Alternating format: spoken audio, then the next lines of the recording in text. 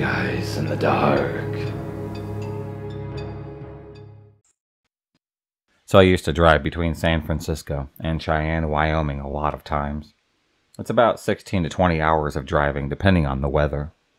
My second time driving that route, I was driving at night when suddenly my truck starts to make this odd grinding noise. Sounded like if it had run over something and it happened to have gotten stuck. It's about 2 a.m. I pull up to a very lit rest stop. I wake up my buddy, who has been sleeping this whole time.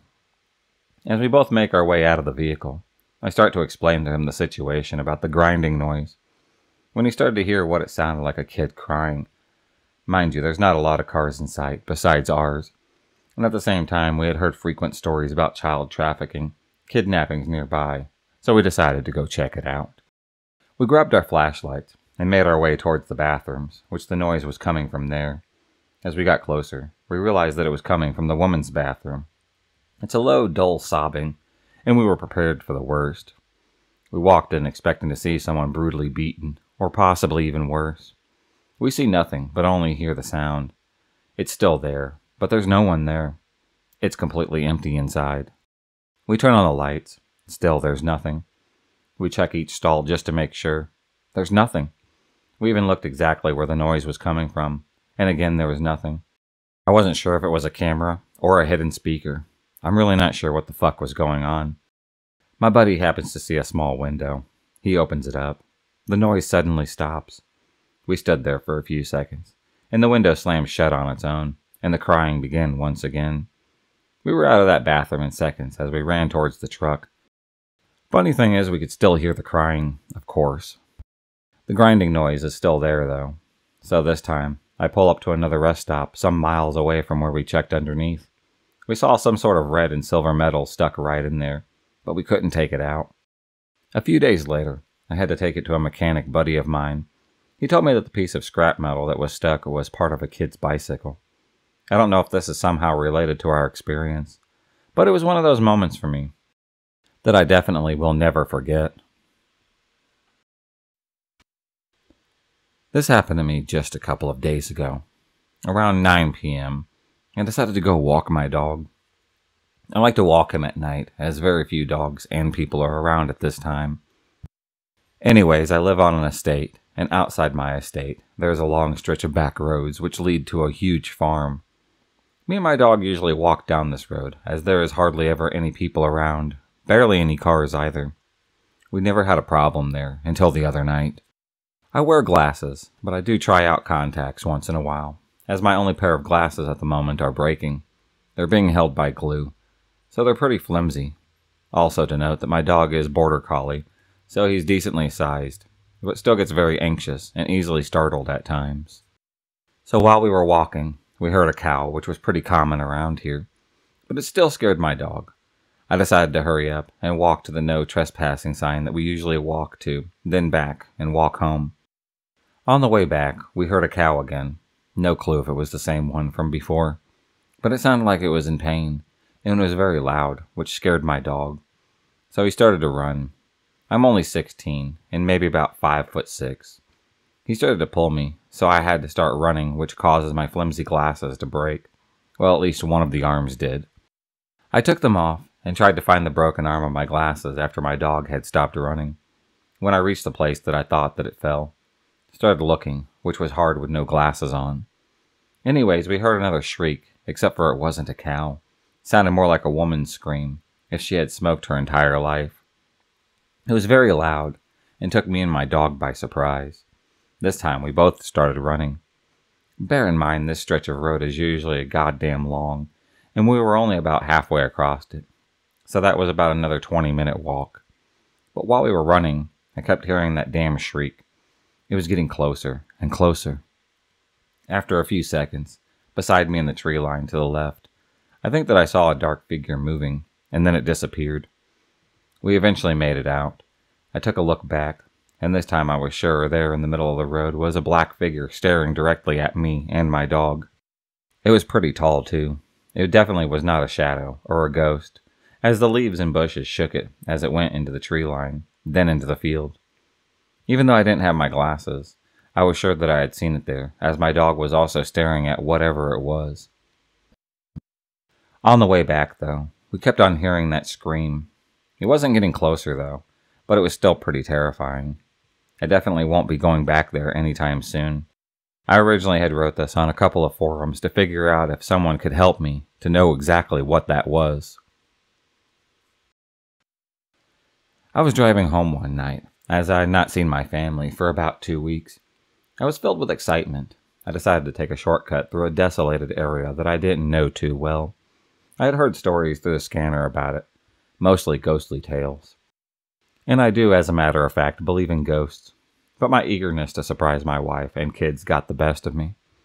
It was around 3 a.m. or so in the morning. I had been on that particular road for about an hour already. There was nothing out of the ordinary that had happened. Suddenly, I get to an area packed with old, creepy trees on the side, and there's tons of shrubbery. As usual, my radio was on, and out of nowhere, this horrible static starts to crackle through the speakers. I started to feel pretty chilly, and very uncomfortable. When, wouldn't you know it, I saw a man hanging from the tree on the side of the road. There he was. His body was even swinging from side to side. I stepped on the brakes as fast as I could, and carefully, just so I could keep looking through the rearview mirror. And he was still there. I grabbed my coat, my gun, and my flashlight. I had my phone in my pocket. I started to dial 911, but there was no signal. I made my way through the shrubs, and when I reached the tree, he was gone. I moved the flashlight around, thinking that maybe he got free. I went back to my truck, looked back. There he was once again, hanging like I had seen him before. After this, Let's just say that I didn't like taking shortcuts anymore. So I had got loaded up in Louisiana at around 2:30 in the morning. I wanted to be home in Texas by sunrise, so I took the back roads. I'm hauling ass.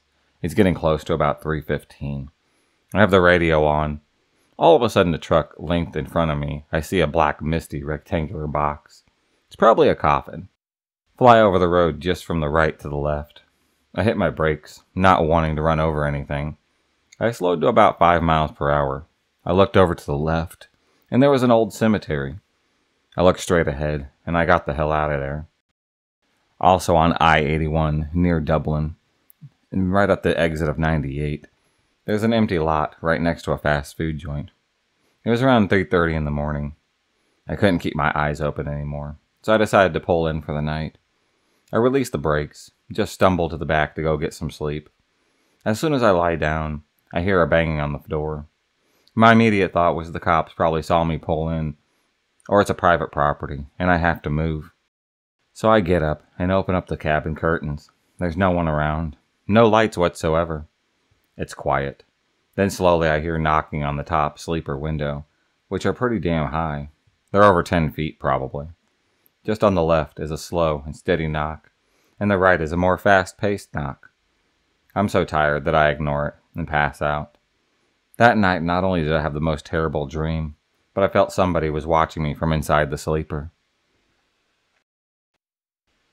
When I was trucking on a run through east central Texas, I was on my way back to Louisiana in the middle of the night. I was driving up a hill on a smaller state highway when my truck started acting pretty funny. It was slowing down as I approached the top of the hill. I couldn't make it go any faster, though.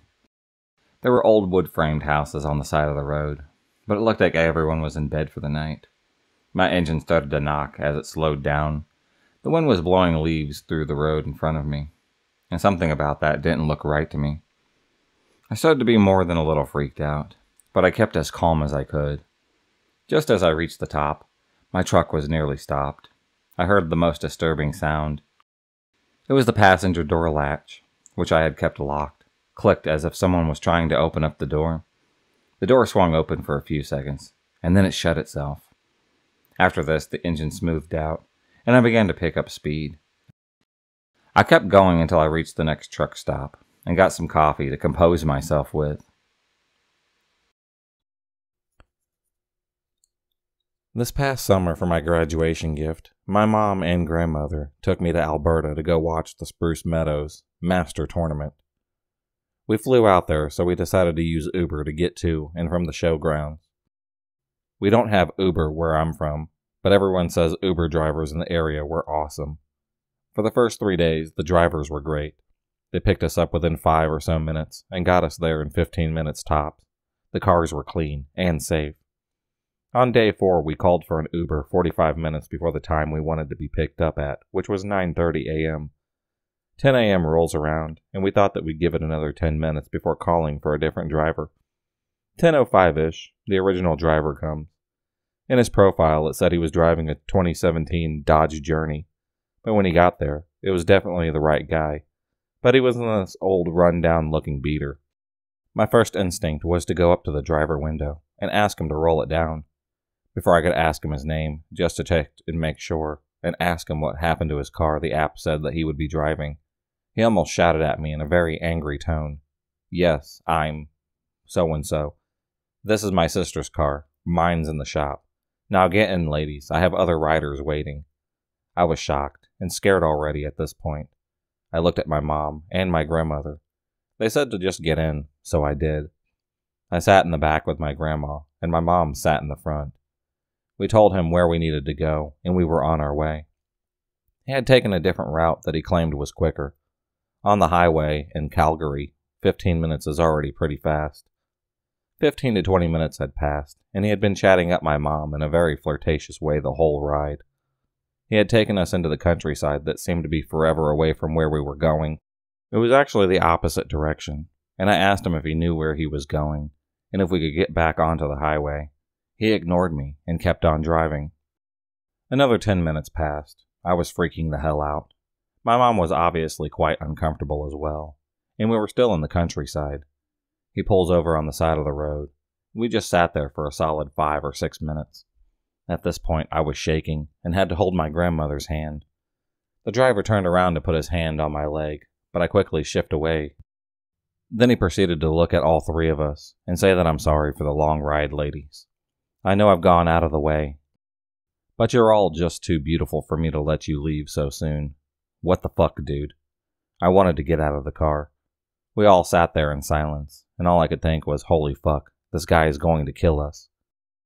He made other creepy remarks towards me, commenting on how youthful and full of life I am.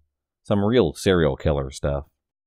After sitting there in shock for what felt like hours, my sweet, quiet grandmother screamed at him, telling him to turn around and get back on the highway. He finally pulled off the side of the road and continued on the country road. The whole way he kept looking back at me and making increasingly sexual marks. About an hour and a half later, we got to the grounds. I was extremely shaken up and almost in tears. I wished we had just called another Uber. I hope he doesn't do this to all of his female passengers. I will never be taking a ride share ever again Uber driver from hell. You made me miss like two hours of the show. You scared me half to death. I gave you zero stars.